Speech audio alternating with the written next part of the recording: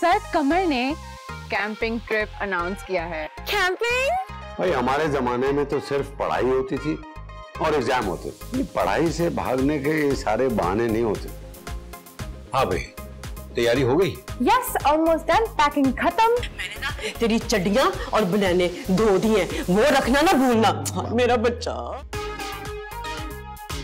शुक्र करो कोई तो तुम्हारा ख्याल रखता है वरना तुम इस काबिल नहीं हो। तू साइंस का बिलीवर है ना?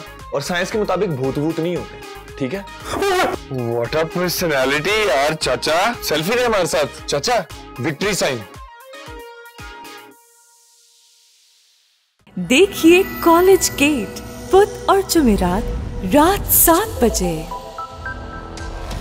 क्योंकि मैं ग्रीन हूँ।